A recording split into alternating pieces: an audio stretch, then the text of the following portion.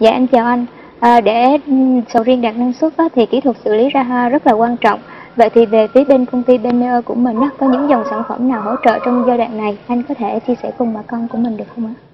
À, kính thưa quý bà con và quý khán giả đang xem đài, thì cây sầu riêng là một cây trồng lâu năm. Thì à, nếu như để cho quá trình mà ra hoa nghịch vụ đạt được năng suất cao thì chúng ta cần phải sử dụng những cái loại phân nó tốt để cây nó không có bị xuống sức sau này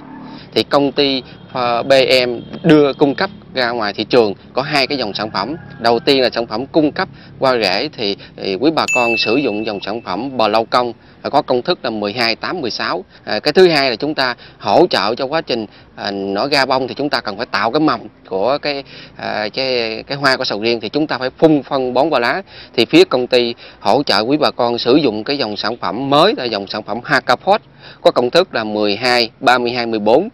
thì đây là một dòng sản phẩm à, khi chúng ta hòa tan vào trong nước là nó tan hoàn toàn hấp thu qua lá và tạo cái mầm rất là tốt. À, cây sầu riêng sẽ ra hoa rất là đều và sau này nó không có bị à, rụng trái à, và à, bị hư trái